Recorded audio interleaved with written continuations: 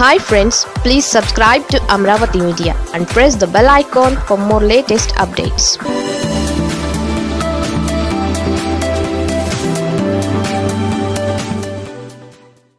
అష్టకష్టాలు పడి ఐదేళ్ళకు అమ్మా నాన్న వద్దకు.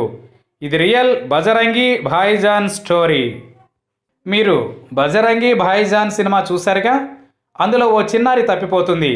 హీరో ఆమెను పాకిస్తాన్ వరకు తీసుకెళ్ళి తల్లిదండ్రులకు అప్పగిస్తాడు. అచ్చం అలాంటి సీనే ఆంధ్రప్రదేశ్లో చోటు చేసుకుంది. ఓ యువకుడు ఐదేళ్ళ క్రిందట నిజంగానే తప్పిపోయాడు.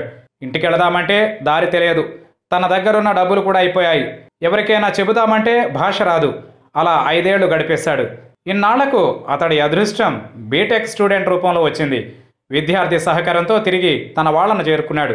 వివరాల్లోకి వెళితే పశ్చిమ బెంగాల్ రాష్ట్రం భరత్మాన్ జిల్లా మసజ్గ్రామ్ గ్రామానికి చెందిన పర్సన్జీత్ ఐదేళ్ళ క్రిందట బతుకు తెరువు కోసం గోవా వెళ్ళాడు. ఎంతో కొంత డబ్బులు సంపాదించి తిరిగి ఇంటికి వెళ్ళాలని నిర్ణయించుకున్నాడు. కొంతకాలం పనిచేసి నాలుగేళ్ళ క్రితం తిరిగి స్వగ్రామం వెళుతున్నాడు.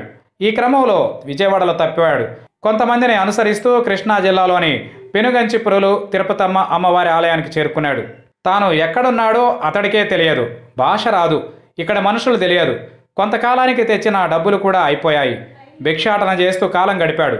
అయితే పర్సన్ జిత్ను తిరుపతమ్మ ఆలయం వద్ద పచ్చబొట్లు వేసి ఇజ్రాయెల్ అనే వ్యక్తి చేరదీశాడు. వివరాలు తెలుసుకుందామని ఎంత ప్రయత్నించినా లాభం లేకపోయింది. తెలుగు రాక వివరాలు చెప్పినా అర్థమయ్యేది కాదు. అలా ఇజ్రాయెల్ దగ్గరే ఆ యువకుడు నాలుగేళ్ళుగా ఉంటున్నాడు.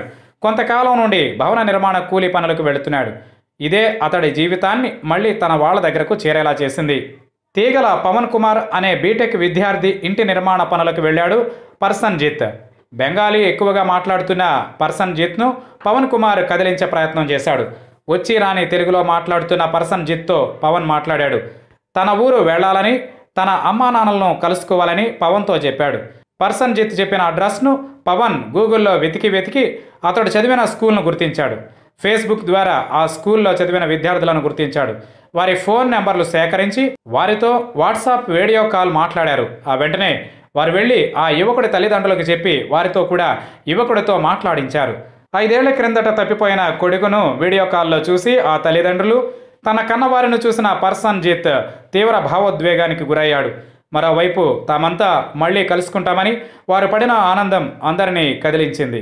ఈ విషయాన్ని బీటెక్ విద్యార్థి పవన్ కుమార్ వెంటనే స్థానిక పోలీస్ స్టేషన్కు చేరవేశాడు. బెంగాల్ పోలీసులు సైతం పవన్తో మాట్లాడారు. యువకుడి కుటుంబ సభ్యులు పెనుగంచి ప్రోలు వచ్చి పోలీస్ స్టేషన్లో యువకుడికి సంబంధించిన ఆధారాలు చూపించారు. దీంతో పోలీసులు పర్సన్ జీత్ను కుటుంబ సభ్యులకు అప్పగించారు. సోషల్ మీడియా సాయంతో తమ బిడ్డను అప్పగించిన పవన్ కుమార్కు పర్సన్ జీత్ కుటుంబ సభ్యులు కృతజ్ఞతలు తెలిపారు.